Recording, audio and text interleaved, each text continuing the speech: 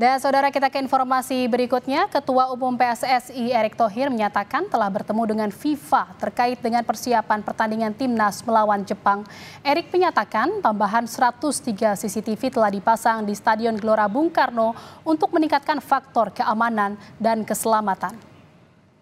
Inspeksi mengenai tadi CCTV kan kita nambah 103 CCTV di mana uh, ada face recognition-nya. Hmm. Jadi nanti Garuda ID plus CCTV hmm. kita supaya jaga kebocoran tiket bukan karena komersial, hmm.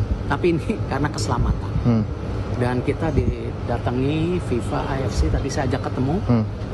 So far dari FIFA AFC mereka melihat uh, kita uh, siap, hmm. ya. Jadi kalau sampai ada nakut-nakutin Indonesia nggak siap ya kita jangan percaya kita terus perbaikin. Yang penting kita kasih lihat ke mereka kita bukan bangsa yang terbelakang.